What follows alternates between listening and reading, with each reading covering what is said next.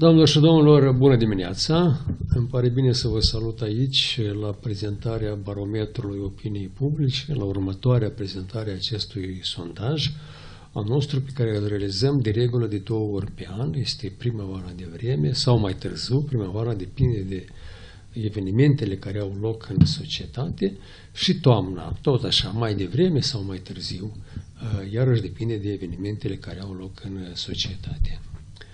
Uh, anul acesta, uh, barometrul uh, a fost realizat cu suportul material al Fundației Soros Moldova, care a venit cu o susținere de 22.500 de dolari pentru proiectul din toamna trecută până în toamna viitoare.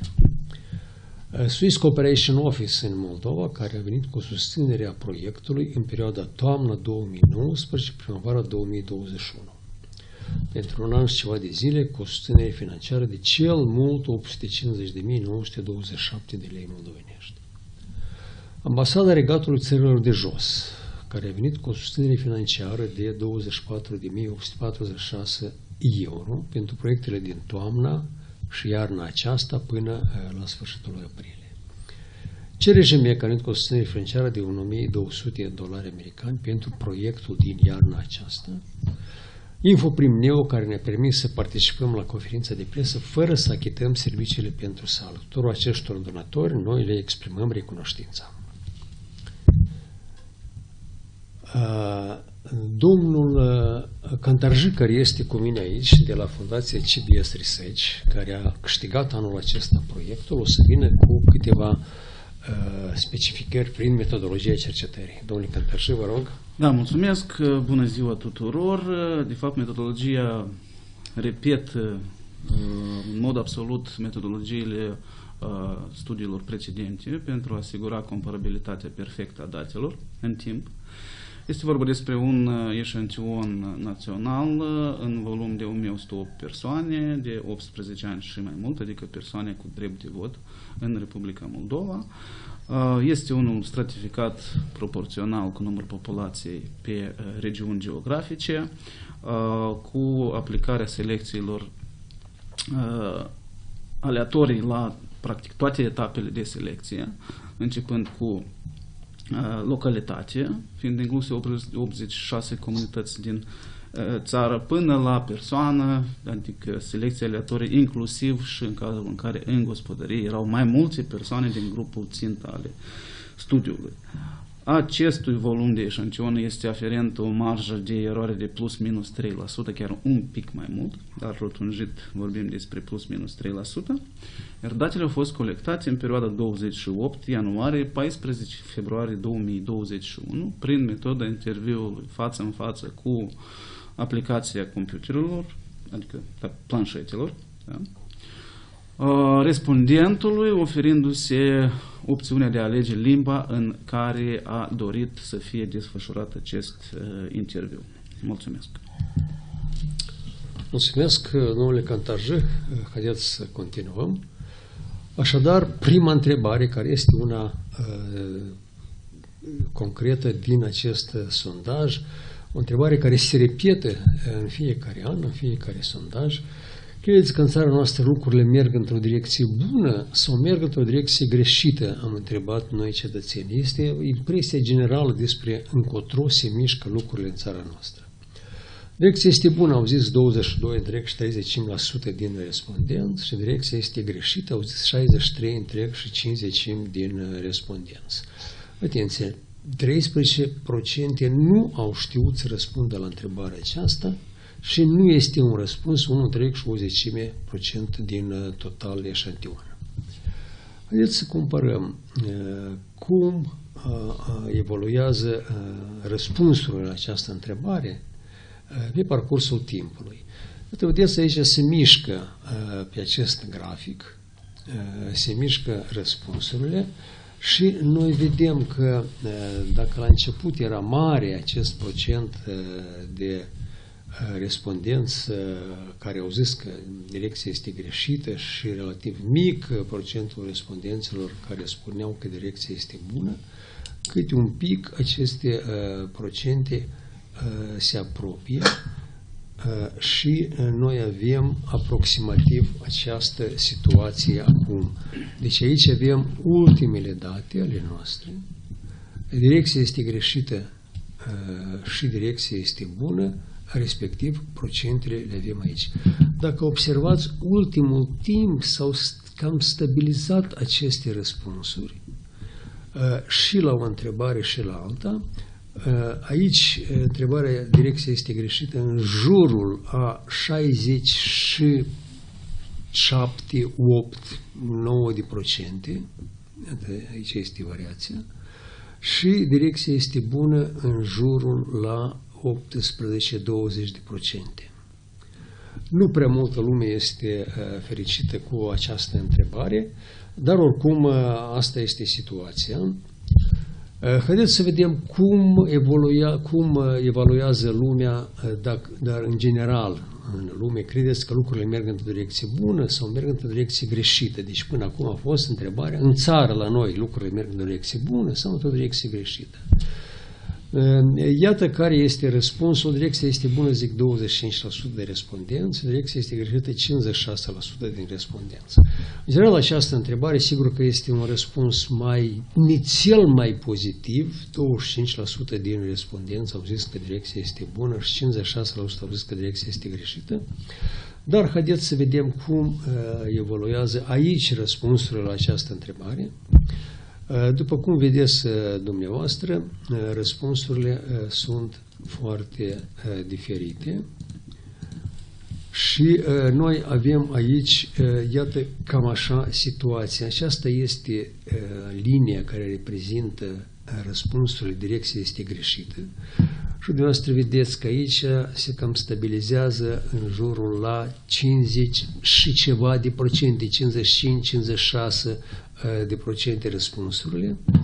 Și aici direcția este bună, în jurul la 24-26 de procente se stabilizează răspunsurile. Cât de mulțumiți, mulțumiți sunteți de situația economică de acum din Republica Moldova, au întrebat noi cetățenii. Și iată care sunt răspunsurile. Foarte mulțumit și destul de mulțumit sunt doar aproximativ 4% din respondenți, adică mm, foarte puțini, foarte puțini, 4% doar sunt destul de mulțumiți și foarte mulțumiți. Nici mulțumit, nici nemulțumit, alți 29%, care este mijlocul cumva, și foarte mulți care sunt nemulțumiți, deci nu prea mulțumiți și deloc mulțumiți, au răspuns 37% plus 26 și 8, adică 29%. Uh, iată că avem acest răspuns uh, care este într-un fel uh, descurajant pentru noi, pentru că în total aici sunt 60 4% din respondenți care nu prea sunt mulțumiți și de fel, de fel mulțumiți.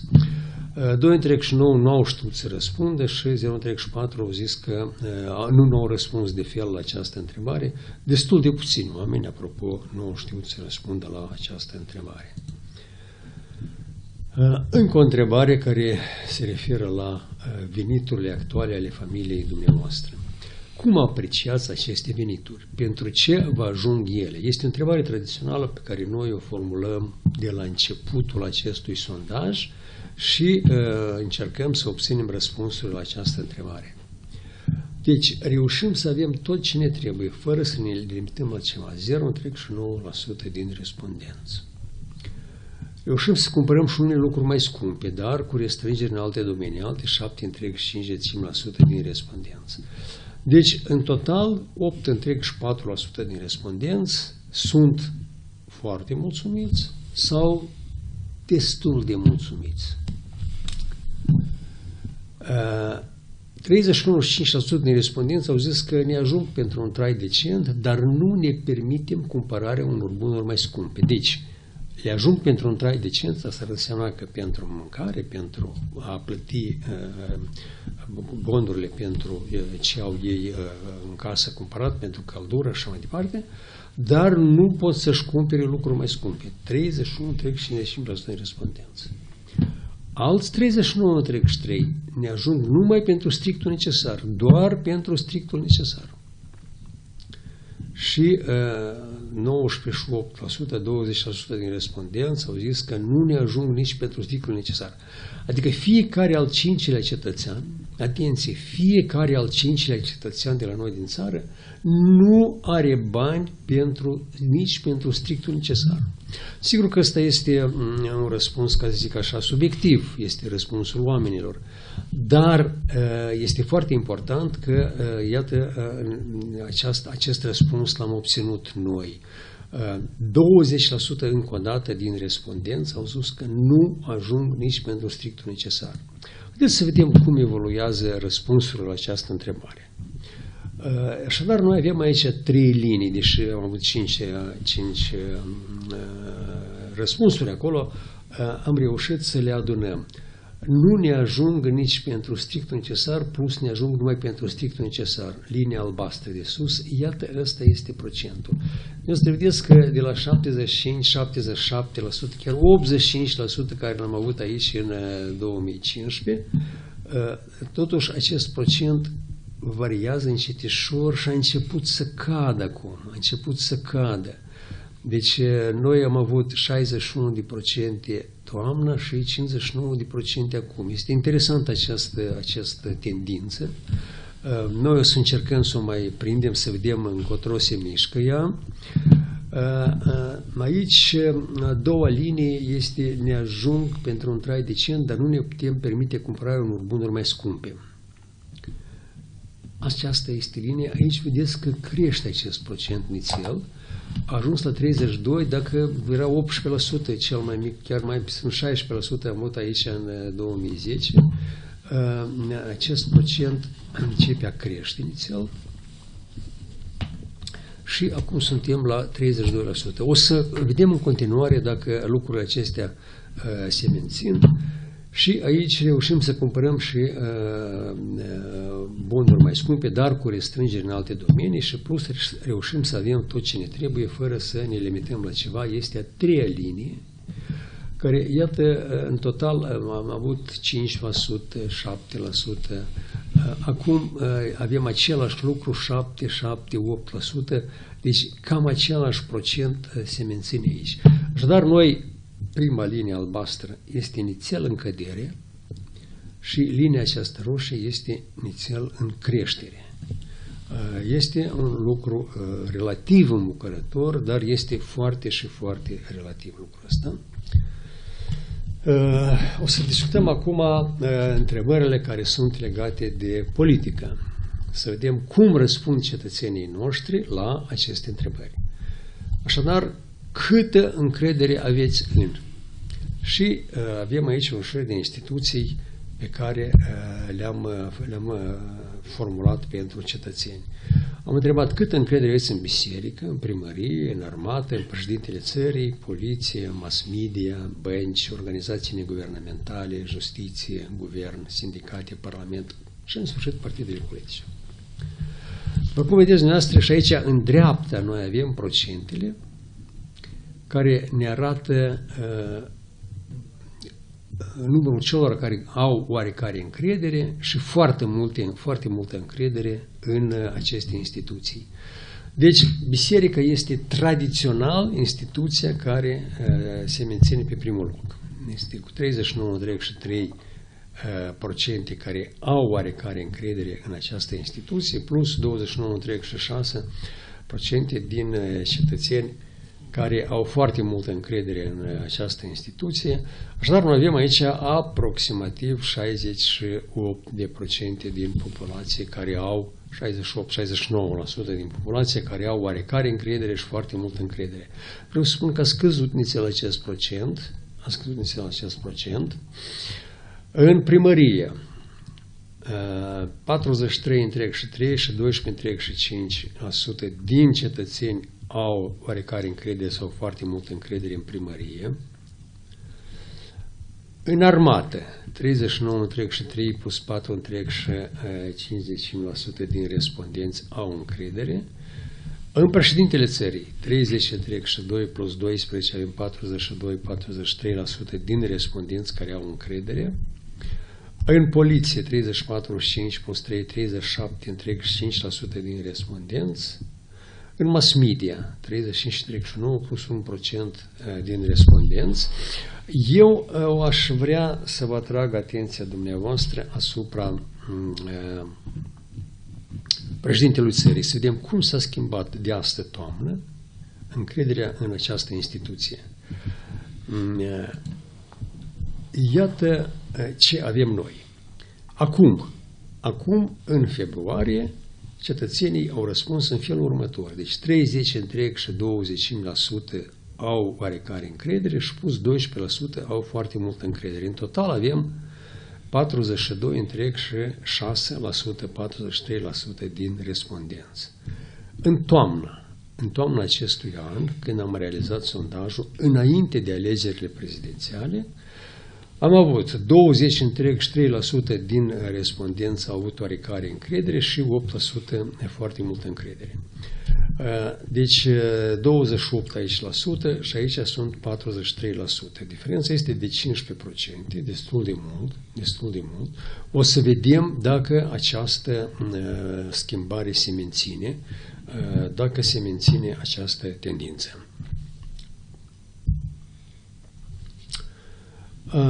Am format această întrebare pentru că ne interesează și răspunsul personal uh, dacă cetățenii se simt protejați, se simt protejați, protejate și am format aici câteva instituții. Haideți să începem cu acea care e scrisă în ultimul rând de jos, cu judecătoria. Așadar, 8, 1,8% din respondenți sunt foar, în foarte mare măsură uh, se simt protejați de judecători, și 88% din respondenți se simt în mare măsură protejați de judecători. Dar în total noi avem uh, 20 întreg și 6, uh, haideți să spunem 21% din respondenți care sunt protejați în foarte mare măsură și în mare măsură. Adică fiecare al cincilea cetățean se simte protejat de judecătorie. În mică măsură, în foarte mică măsură sau deloc, se simt protejați 38 plus 28 sunt 66% din respondenți. Adică 21% sunt protejați într-o mare măsură și foarte mare măsură și 66% sunt protejați în mică măsură sau de fel nu sunt protejați de judecătorie. De trei, mai mult decât de trei ori mai mult, cetățeni nu se simt protejați decât aceia care se simt protejați. Haideți să vedem cum se schimbă acest procent. Deci, de procuratură, nu, aici este diferența de 1,6% cu judecătoria, da, ok. Aici este aproximativ același procent, 36 și 2 și 27, aproximativ același procent. Uh, Serviciile de informare și securitate, 2 întreg și 2, 3, 22 întreg și 8. Da, este mai mare procentul ăsta, aici este 25% din respondenți care sunt protejați de acest serviciu, nu se simt protejați, 35 plus 24, uh, acești 60% din respondenți. Protejați de poliție, 2 întreg și 4, plus 32 și 6, avem 35% din respondenți care se simt protejați, comparați cu 21% din respondenți, 35% se simt protejați de poliție. Nu se simt protejați mulți, foarte mulți cetățeni nu se simt de fel protejați, este 37, 38 plus 21 avem 59 iarăși la sută din respondenți care nu se simt protejați de poliție de fel. Scuzați, imediat. Și în sfârșit de armată. Și aici sunt protejați mult mai mulți cetățeni, este 35 întreg și 6 plus 3 întreg și 6, 40% din respondenți, aproximativ 40% din respondenți sunt protejați, și aici 50% din respondenți nu sunt protejați de poliție. Diferența este mult mai mică, dar totuși este mai mic procentul celor care se simt protejați în foarte mare măsură sau în mare măsură de către armată. Uh, haideți să vedem ce cred politicienii, ce crede populația, pardon, atunci când se gândesc la politicieni din țara noastră. Deci, noi întrebăm, când vă gândiți la politicienii din țara noastră, ați spune că toți sunt corupți, 20% din studenți. Fiecare al cincilea cetățean crede că toți politicienii sunt corupți. Alți 56 cred că majoritatea sunt corupți. Deci 20 plus uh, 56, avem 76% din cetățeni cred că politicienii din țara noastră sunt corupți sau majoritatea sunt corupți. Este foarte important acest lucru și acest lucru trebuiește permanent ținut în vizorul și a sondajelor, dar și al uh, de, uh, cetățenilor. Uh, doar câțiva sunt corupți și niciunul nu este corupt. 2 întreg și 6 plus 0 întreg și 5, 3 întreg și 1%. Deci 3 întreg și o decime procent cred că sunt foarte puțini care sunt corupți și nu este niciunul corupt și 16 întreg și 25% spun că unii sunt corupți. După cum vedeți, este mic procentul celor care consideră că nu sunt corupți politicienii. Este în jur la 19% în total. 19% în total, deci aproximativ fiecare al cincilea cetățean crede că Uh, sunt foarte puțini cei care sunt corupți și uh, poate chiar nu sunt corupți de fel. Nu au știut să răspunde 4% și nu au vrut să răspunde 0,33% din respondenți. Uh, asta este marja de eroare. Încă o dată, este foarte mare procentul celor care sunt corupți. O întrebare care am, am, am încercat să o formulăm și să o aducem la cunoștința dumneavoastră acum. Uh, credem că este importantă această întrebare. Cum credeți dumneavoastră Republica Moldova este guvernată de voința poporului? Un singur răspuns la această întrebare. Uh, da, au zis 14% din respondenți. Nu, au zis 73% din respondenți. Deci, Republica Moldova nu este guvernată de voința poporului. Este foarte important acest lucru nu 73% și da, doar 14% din respondenți. Nu știu, au zis 12% destul de mulți respondenți care nu știu sau nu au vrut să răspundă 1% din respondenți la această întrebare. Haideți să vedem care este următoarea întrebare aici. Crezi că legile în public Moldova sunt libere și corecte? Am întrebat noi cetățenii. Uh, da, au zis 25% din respondenți și aici dacă comparăm cu 14% care au zis da, că, că țara este guvernată de voința poporului, uh, avem uh, mult, mai mulți respondenți, 14% și 25% din respondenți aici.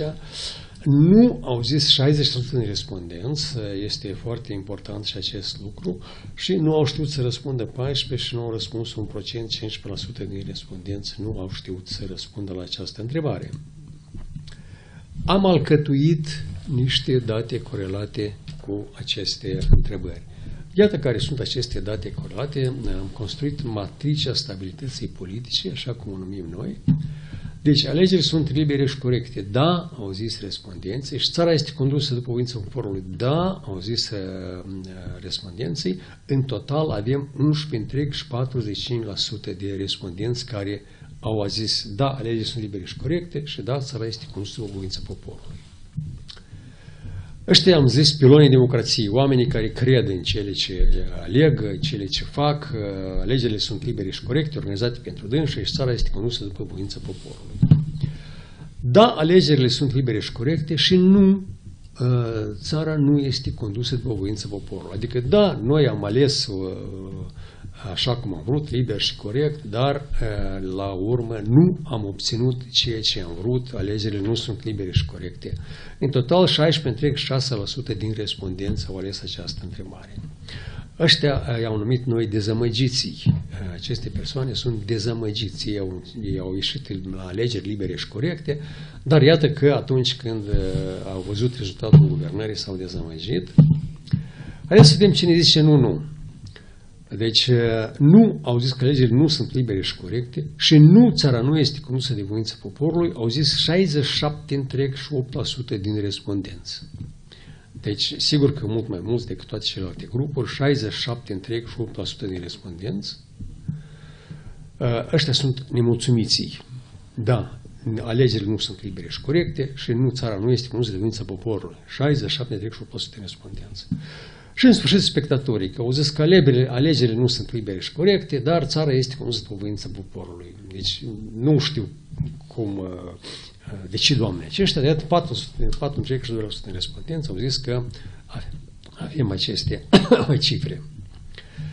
Și, uh, scuzați, am constituit uh, uh, indicele stabilității politice. Uh, este minus 39 întreg și 9 decimi. Uh, acesta este indicele stabilității uh, politice. Haideți să vedem cum, uh, cum se calculează el.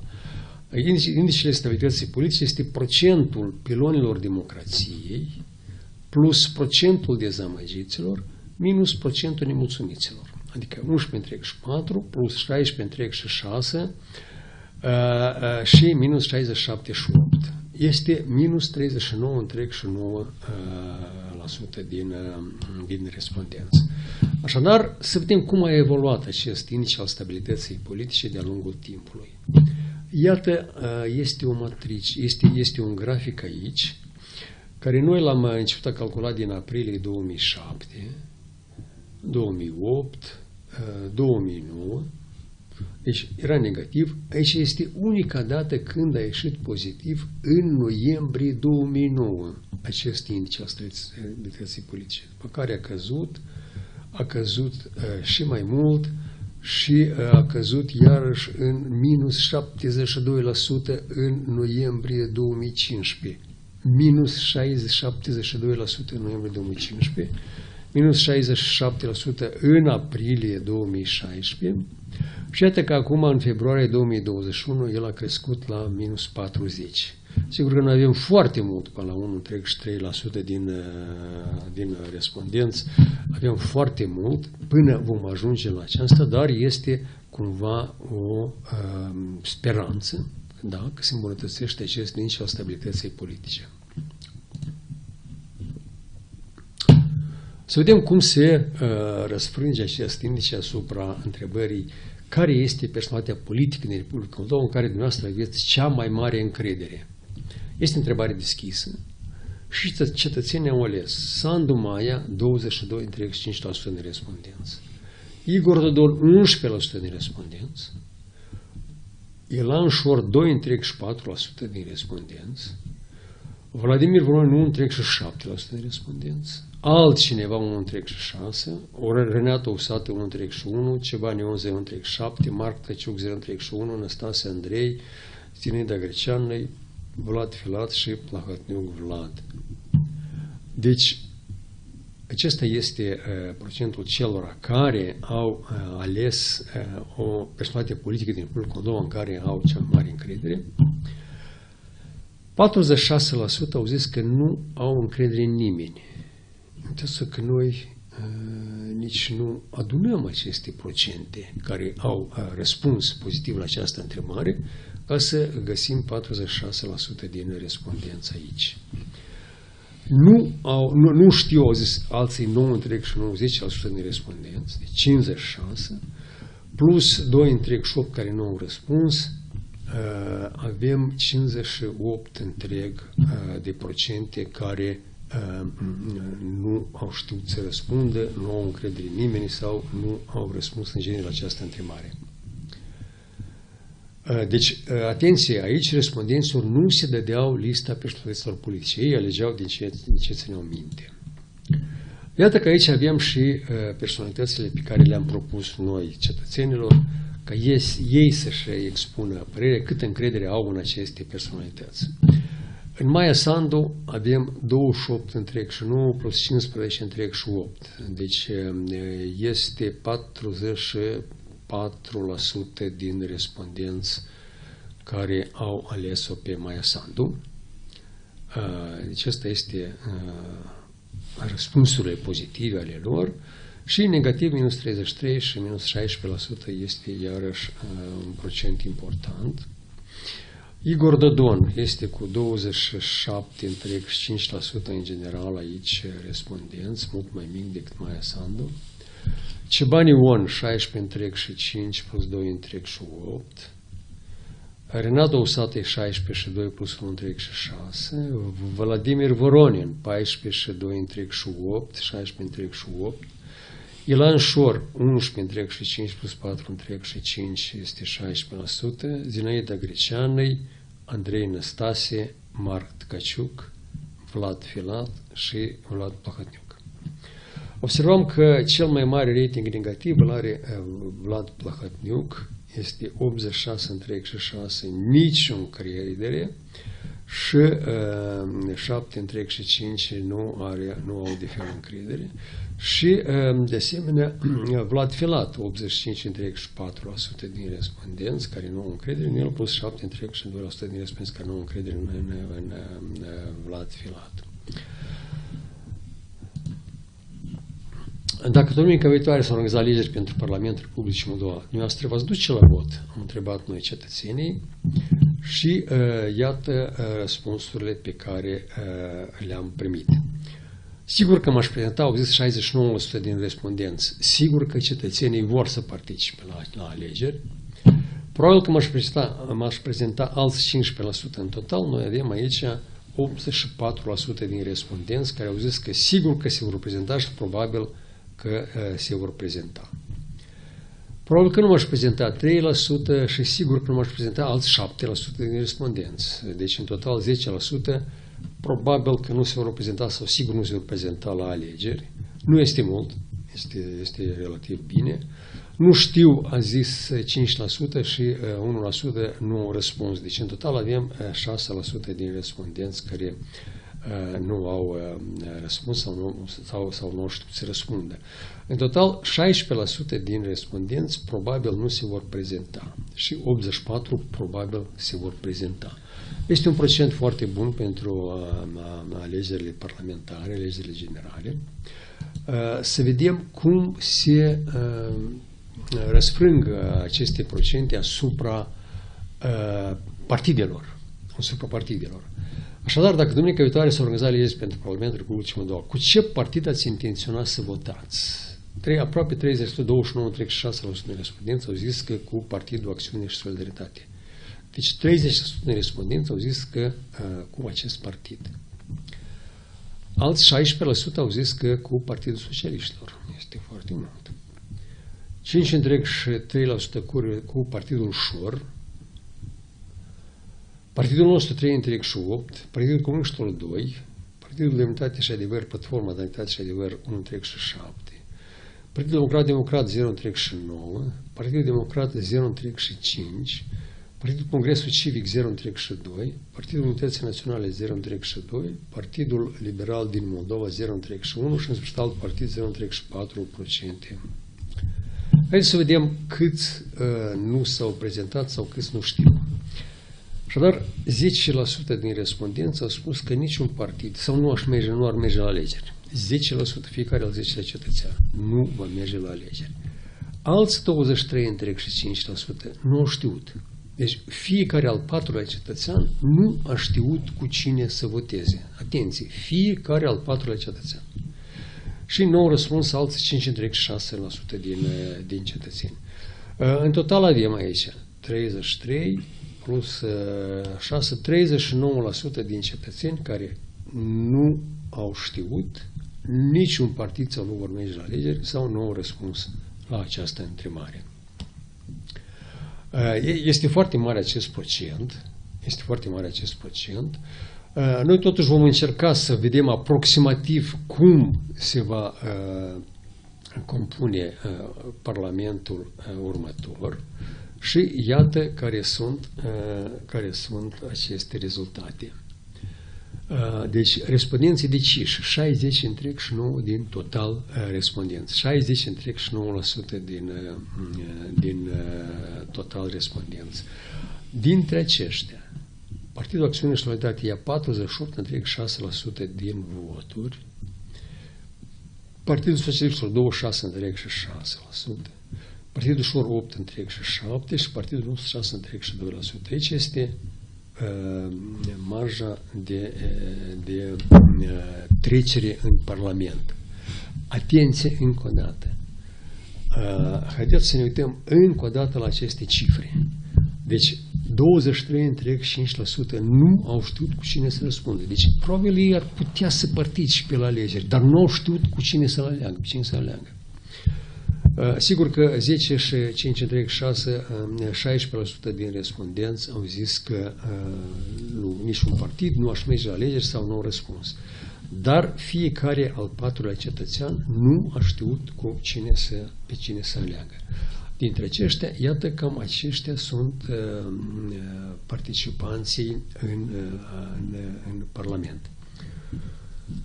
Uh, și aici mă, noi am mai format în întrebare. Dacă din anumite motive partidul pe, pe, pe care ați intenționat să-l votați la alegeri s-ar retrage din cursa electorală și nu ar participa la alegeri, pentru care alt partid ați vota? Și aici e următorul lucru. Partidul Acțiune și Solidaritate, 4,33% din respondenți. Adică, în general, procentul celor care votează Partidul Acțiune și Solidaritate este destul de decis. Deci, în cazul când partidul propriu nu, e, nu iese, Partidul Acțiune și Solidaritate nu iese, se vor mai adăuga alți 4,3% din respondenți, din ceilalți respondenți care votează alte partide. Partidul Socialistilor 5 întreg și 10.000 de respondenți, aici este interesant lucru. 8 întreg și 2% din respondenți s-ar adăuga pentru Partidul Ușor. Este foarte important lucrul ăsta, trebuie de analizat și de văzut Mm, uh, pentru că uh, asta, asta într-un fel, mm, într-un fel irită cetățeanul. Uh, partidul nostru 5 întreg 4, Partidul Comuniștilor 4 întreg și 6 și iată aici avem încă o cifră foarte interesantă, 14 întreg și 2. Deci pentru platforma de demnitate și adevăr, în cazul când partidul propriu nu va participa la alegeri, deci pentru platformă ar vota 14% din cetățeni. Asta este foarte important. 14% ar vota pentru platforma aceasta. Cine sunt aceștia, acești alegători? Probabil sunt acei din care au votat pentru acțiune și solidaritate, probabil aceia sunt. Alții nu prea văd care ar putea vota această platformă. Și în rest aveți aceste procente. Aici nu știu care e al doilea partid, 34% din cetățeni, nu știu, nu cunosc, și alți 17,7 au zis că niciun partid sau nu ar merge la alegeri. Deci, cum vedeți, aici sunt 51% din respondenți care au zis că nu știu sau niciun partid sau nu aș merge la alegeri.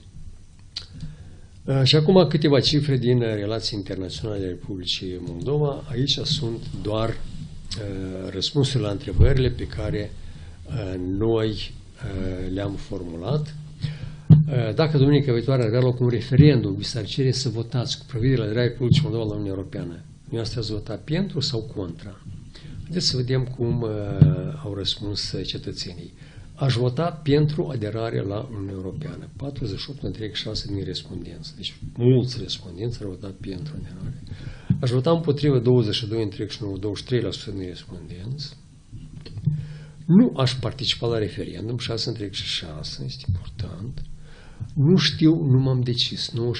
Deci fiecare al cincilea cetățean încă nu știe să voteze uh, aderarea cu la Uniunea Europeană sau să nu voteze această aderare.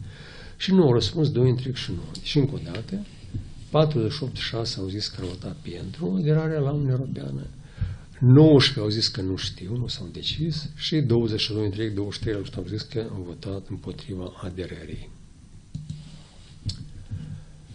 Dacă vi s-ar cere să votați cu prima aderare Republicii la Uniunea Economică Eurasiatică, adică la Rusia, Belarus, Kazakhstan, dumneavoastră ați vota pentru sau contra. Am întrebat noi cetățenii și aici avem următoarele răspunsuri. 35% au zis că vor vota pentru, alți 30% au votat contra și uh, 22% nu știu, nu s-au decis. Deci, haideți încă o dată să ne uităm atent la aceste cifre. Deci, pentru au votat 35% din respondenți și 22% nu s-au decis. Uh, noi am putea, într-un fel, să adunăm aceste cifre ar vota contra 30% din respondenți. Este foarte important și acest lucru.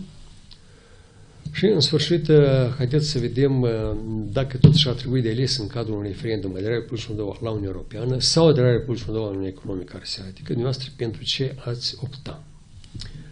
Pentru aderarea la Uniunea Europeană 43% din respondenți și pentru aderarea la Uniunea Vamală 27% din respondenți. Deci 43% pentru Uniunea Europeană și 27% pentru Uniunea Vamală. Uh, acestea sunt relațiile. Nu știu, nu s-au decis 21% de respondenți. Deci ăștia ar trebui încă împărțiți aici între uh, Uniunea Europeană și Uniunea Vamală și nu ar participa 6% din respondenți. Aceasta este situația. Acum uh, o să-l rog pe domnul Vasile Cantarjic, care a pregătit uh, informația privind uh, COVID-19. Domnule Cantarjic, vă rog.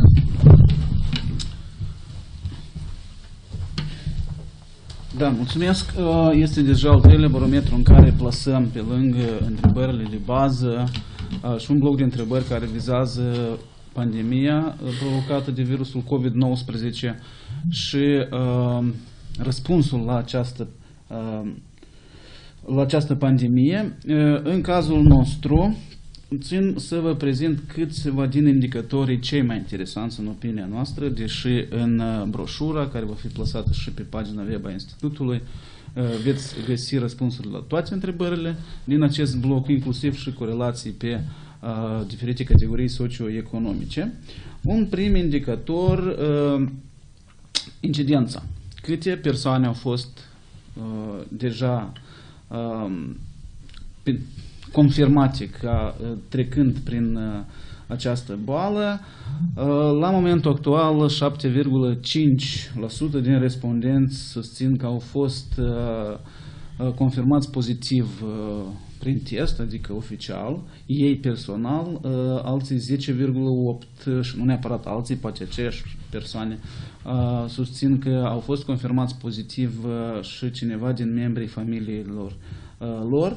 Vreau să vă zic că acest indicator plează foarte bine cu statisticile oficiale publicate de autorități, uh, plus la aceasta îl putem compara și cu uh, răspunsul la aceeași întrebare în octombrie 2020, când spuneau că cu personal au fost confirmați pozitiv 3% din respondenți, acum avem 7,5%, ponderea a crescut în doar 3 luni, Uh, iarăși foarte absolut proporțional și cu estimările, uh, rapoartele oficiale statistice, doar că repetăm acest lucru ca să vedem cum stau lucrurile pe categorii, diferite categorii uh, sociodemografice a cetățenilor.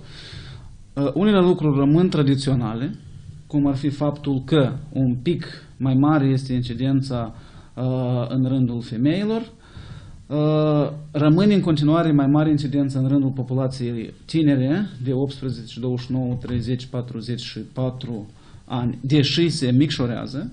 Da? Uh, există o corelație foarte puternică în funcție de nivelul de studii și nivelul socioeconomic, astfel încât lucrurile părând dintr-o parte simplist interpretate uh, a fi că pandemia aceasta este mult mai, implică mult mai mare risc pentru persoanele mai cu, cu nivel de studii mai înalt și nivel socioeconomic mai înalt, deși acest lucru ar fi legat în primul rând de modul de populare, adică uh, aceste categorii de populație sunt concentrate mai mult în mediul urban și în uh, capital, cât și uh, modul de viață, aceste categorii fiind mai mobile, respectiv mult mai mult uh, expuse riscului contactelor uh, întâmplătoare și riscante. Totuși, în aceste trei luni au parvenit anumite modificări în modul de răspândire a virusului și gradul de expunere a diferitelor categorii socio-demografice. În primul rând, pandemia nu mai este concentrată mult mai puternic în mediul urban.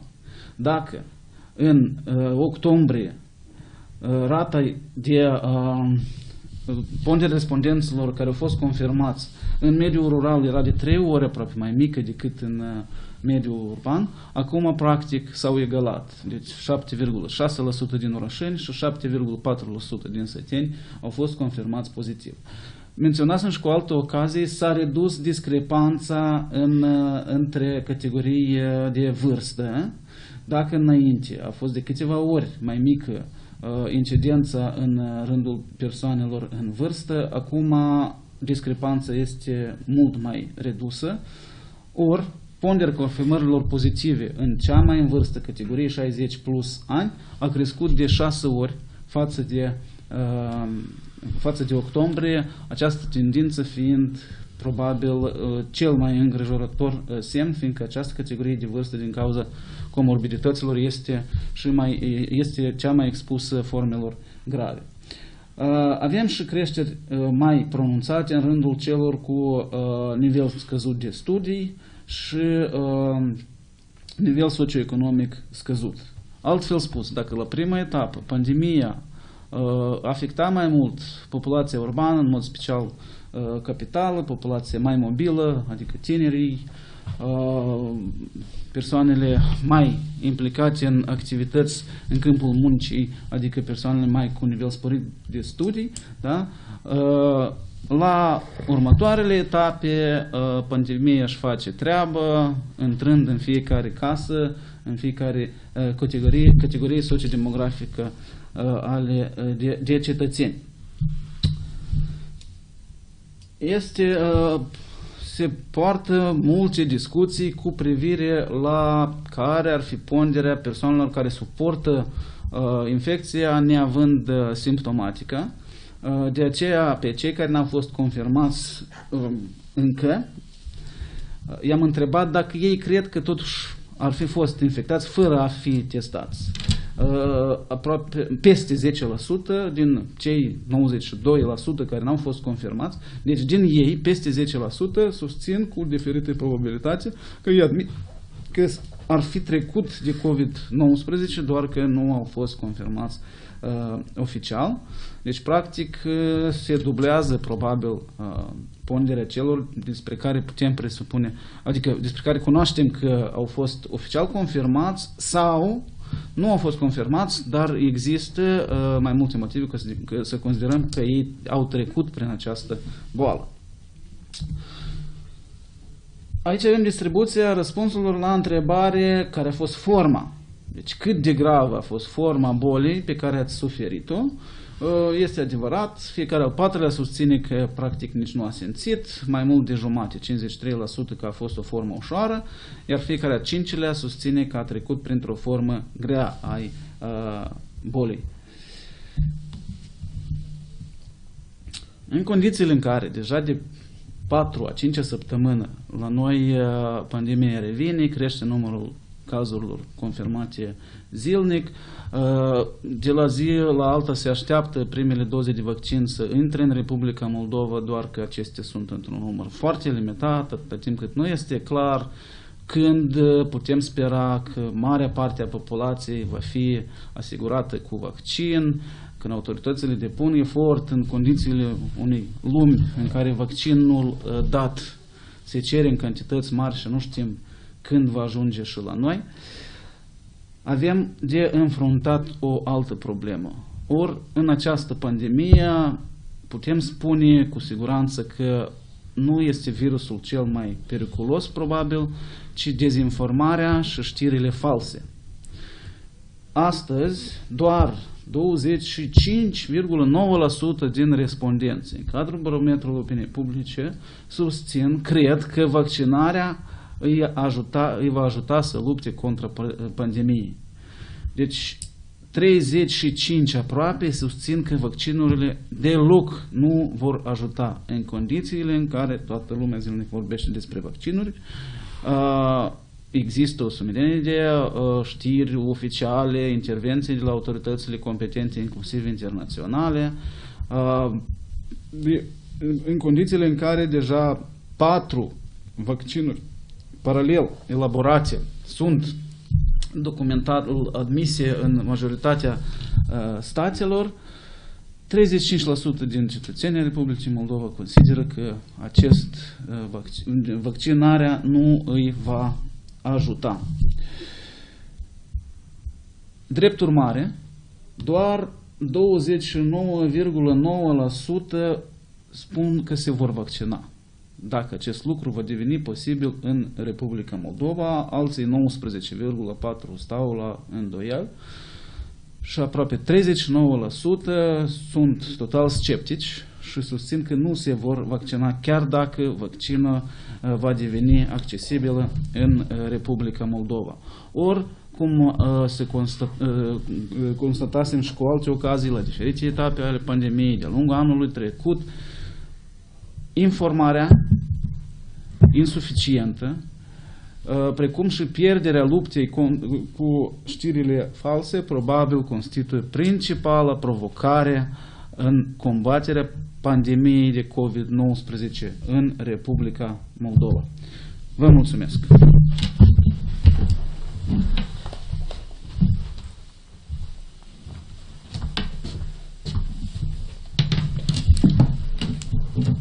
Eu mulțumesc pentru atenție. Acum aș vrea să văd dacă sunt întrebări și până răspunde la întrebări o să mai aduc încă o dată cifrele vis-a-vis -vis de cine sunt donatorii.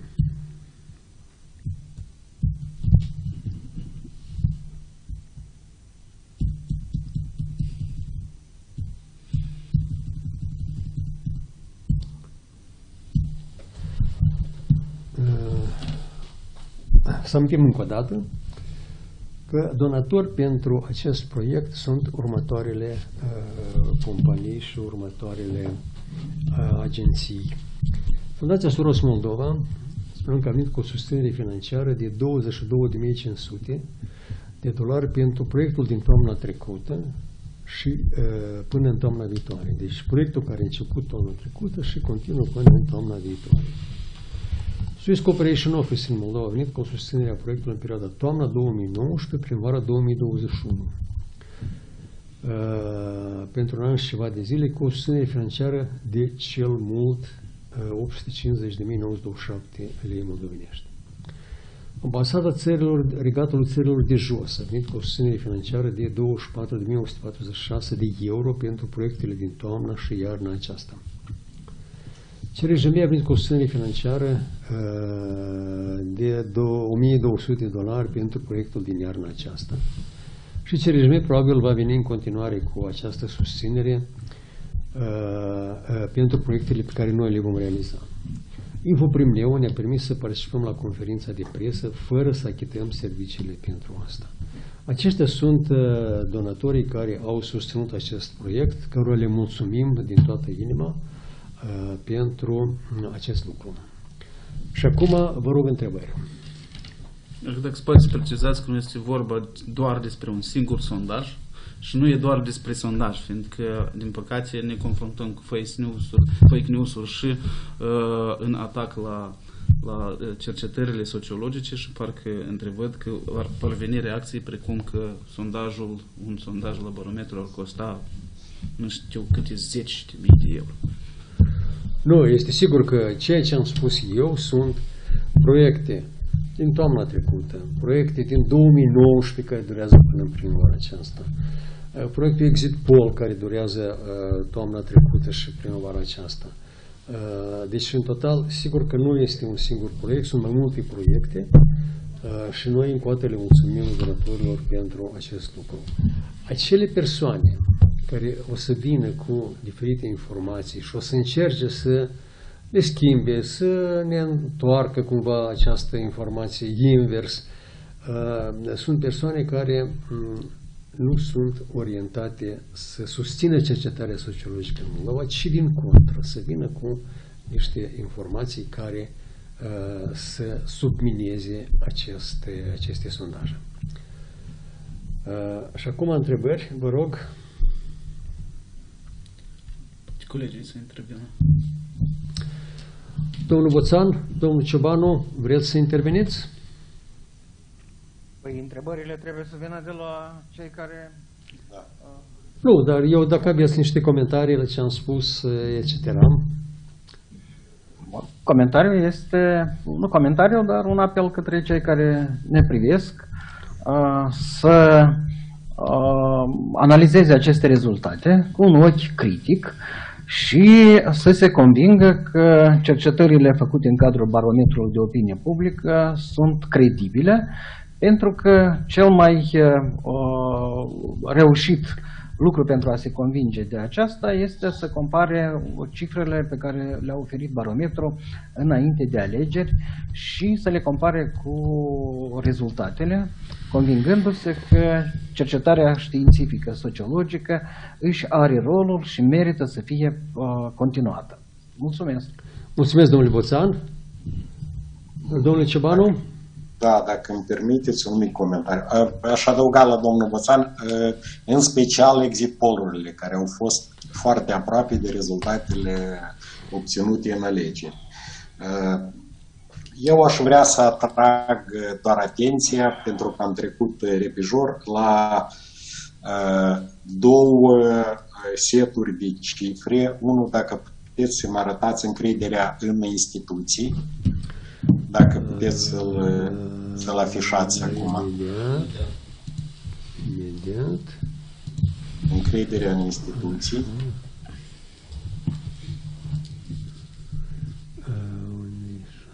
Domnul Barbaroș, nu așa. Acum? Dacă permiteți. Da, poftim. Este, da? da. Dacă, e, dacă îl vedeți pe ecran, da. Uh, în, încrederea în, în instituții, Nu, nu este asta. instituții, biserica și așa mai departe, da. Deci e mai, mai, mai sus, da, trebuie să fiu. Aha, da.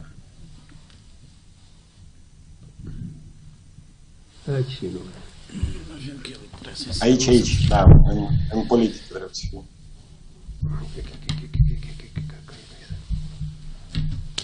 Da, exact.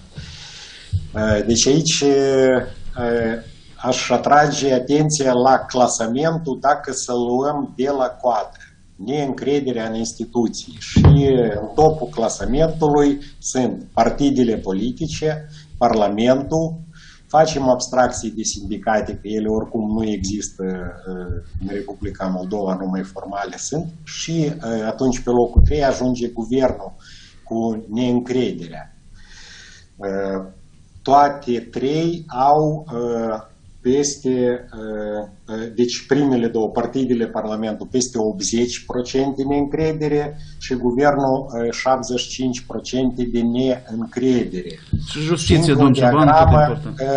Am trecut acum peste ea în care ziceți despre corupția între politicieni. Sunt corupți, nu sunt corupți. Dacă puteți, mai, mai jos acum să mergem, înainte. Am trecut peste ea, da. Așa.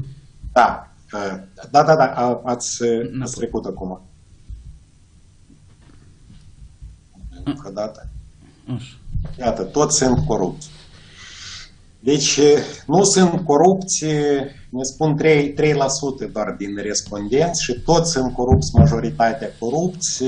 Iarăși avem o cifră de 76, da, 76%. După mine, aceste două diagrame, dacă să le analizăm după cifre, sunt relevante în contextul discuțiilor actuale, ce trebuie să facem.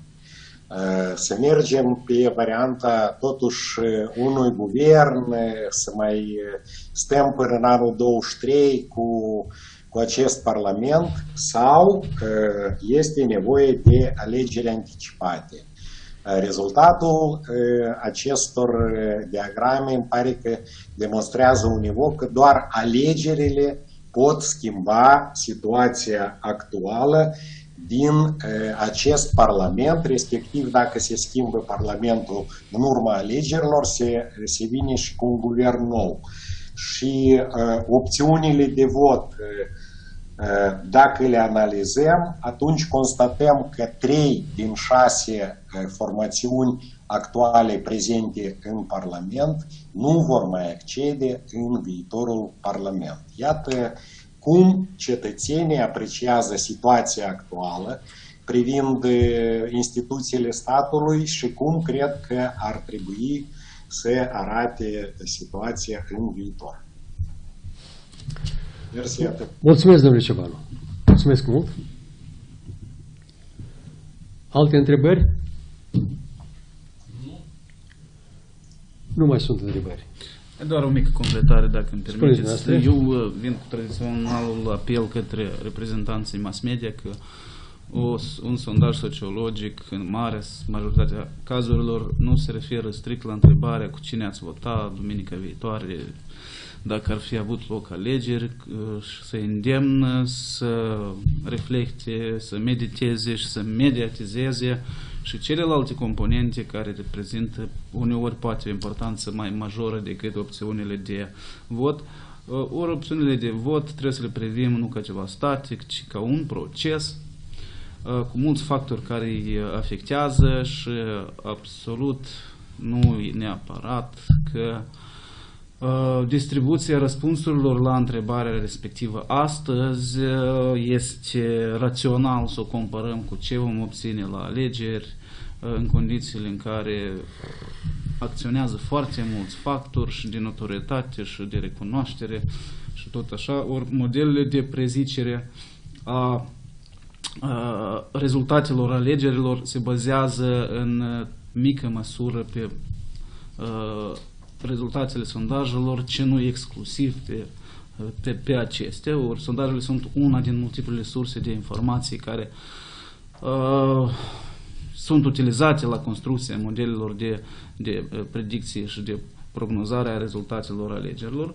Ori avem și de a face cu diferite categorii de uh, alegători, unii chiar în anumite circunstanțe, nedorind să recunoască care ar fi opțiunile de vot.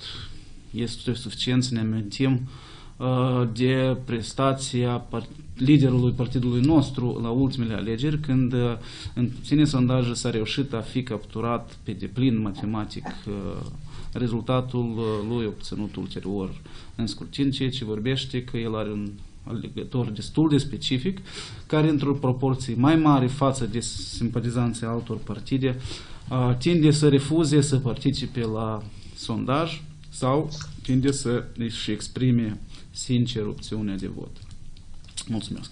Mulțumesc. Dacă nu mai sunt întrebări, atunci vreau să vă spun la revedere până la următoarea întâlnire.